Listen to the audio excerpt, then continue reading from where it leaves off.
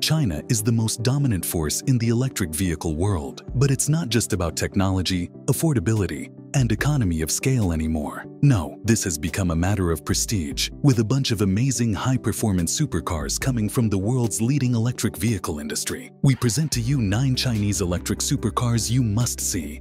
BYD Yangwang U9 BYD is already seen as one of the world's leading electric vehicle makers, with impressive battery technology and an impressive overall design for its models. So, the moment the company established itself as a key Chinese electric vehicle company, it was time for the next step to make. It was time to step into the supercar category with the model called Yangwang U9. And BYD actually went beyond that, offering something we could easily put into the hypercar category with its four electric motors and the maximum output of impressive 1,287 horsepower and 1,239 pound-feet of torque, plenty enough to hit 100 kilometers per hour in just 2.36 seconds, and an 80 kilowatt-hour battery that should provide up to 467 kilometers of range, according to the manufacturer. Characterized by its aerodynamic shape, massive rear wing, and cabin design loaded with high-tech features, the U9 may not be as powerful as Rimac Nevera, for example. But the Chinese automaker is so confident in its electric supercar that it recently sent it to Nürburgring to break Nevera's record lap time of a little bit over 7 minutes and 5 seconds.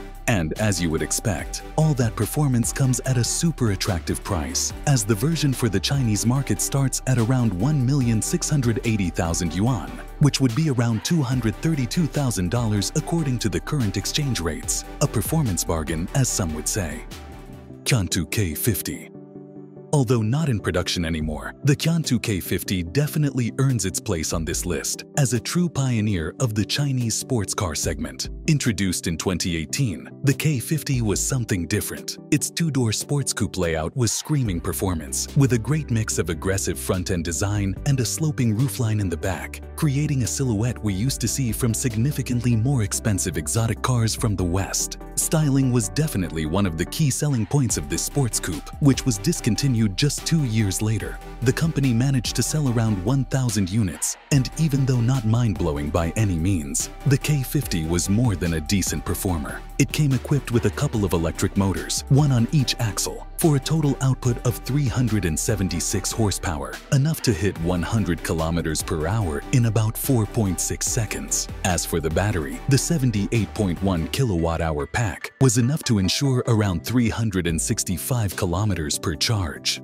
NIO EP9 that Chinese electric vehicles aren't just about affordability. We learned long ago with hypercars like NIO EP9. Introduced way back in 2016, the EP9 was never meant to be a street-legal car. It was designed specifically for the track, and that uncompromised pleasure cost around $3 million back in the day. For that money, you would get one of the most impressive electric performers the world has seen, even by today's standards, eight years after the original launch. Another piece of information about the EP9 that will blow your mind is that it was developed in just 18 months. Yes, a year and a half was enough to develop a monster that completes a lap at Nürburgring in just 6 minutes and 45 seconds. Four 250 kilowatt electric motors, one on each wheel, for a total output of 1,341 horsepower and the ability to hit 100 kilometers per hour in just 2.7 seconds. Want to hear more about performance figures?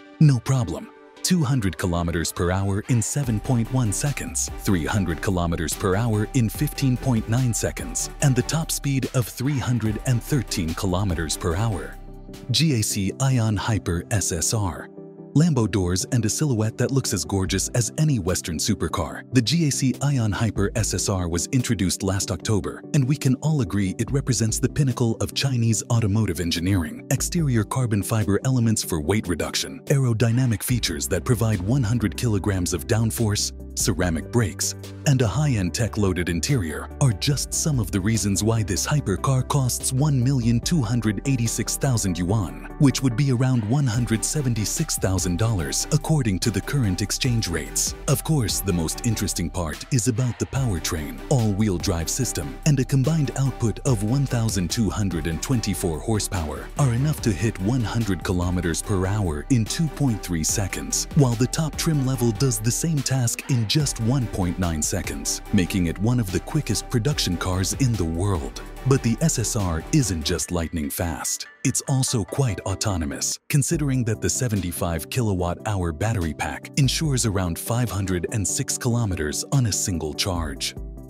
TechRules Ren one look at the Techrules Ren is enough to start wondering if this is just a car or a part of the Chinese space program, because its aerodynamic shape, complemented with the cabin that opens as a canopy, definitely isn't something we could call common. Even in the exotic car segment, things become even crazier once you get inside the cabin, which mimics the iconic McLaren F1 and its three-seat configuration. But that's just the beginning, as things get even more interesting once you get to the powertrain department, because this hypercar combines two types of fuel that shouldn't go together. On one hand, we have a diesel-powered turbine that feeds the battery. On the other, there's a plethora of electric motors. Base variants come with four, while the high-performance version has six of them. That six-motor version seems particularly interesting, with one motor on each front wheel and two motors on each rear wheel. The total output is rated at 1,287 horsepower and 1,726 pound-feet of torque, plenty enough to hit 100 kilometers per hour in 3 seconds and a top speed of 330 kilometers per hour. Thanks to the turbine range extender and its 21-gallon tank, the Techrules Ren offers autonomy superior to any pure electric vehicle on the market, as the company claims a maximum range of up to 1,170 kilometers how about that?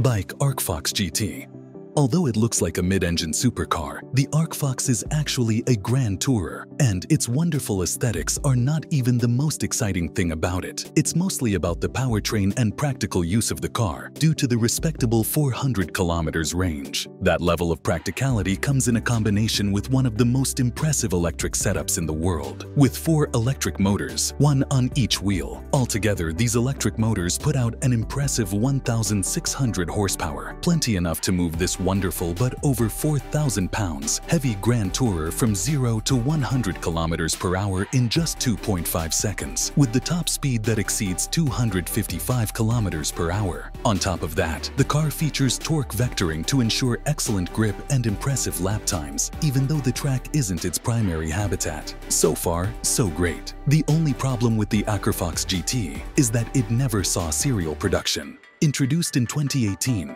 this supercar remained just a concept, and unfortunately, we don't see anything similar on the horizon, as the company is currently focused on SUVs and sedans.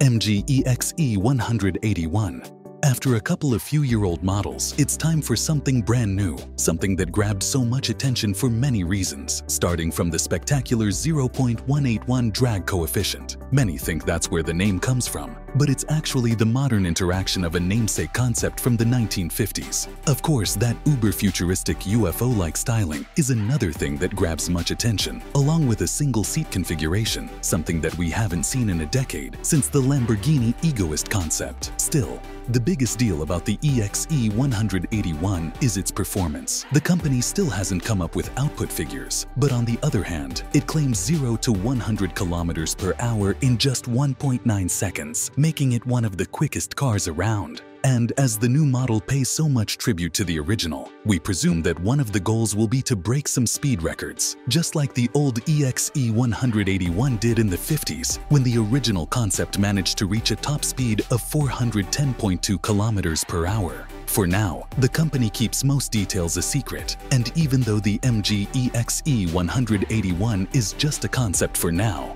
many believe that the production version could arrive pretty soon.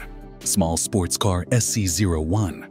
Car makers like Lotus taught us long ago that the ultimate driving experience doesn't depend on power, performance figures, or anything like that. No, it eventually comes down to the lightweight and connection to the road. And that's exactly what this Chinese startup, simply called Small Sports Car, is trying to bring in the all-electric form. The SC01 was presented last year with a bit unusual design approach by today's standards. With compact dimensions and a curb weight of a little bit over 2,800 pounds, we are talking about something similar to an Audi TT, and that's why we believe in an excellent driving experience, even though there is the battery and all other things that typically come with electric cars. And in the manner of combustion sports cars, it's all about keeping things simple. So therefore, the SC01 features a couple of electric motors, one on each axle, with a combined output of around 430 horsepower, enough to hit 100 kilometers per hour in less than 4 seconds.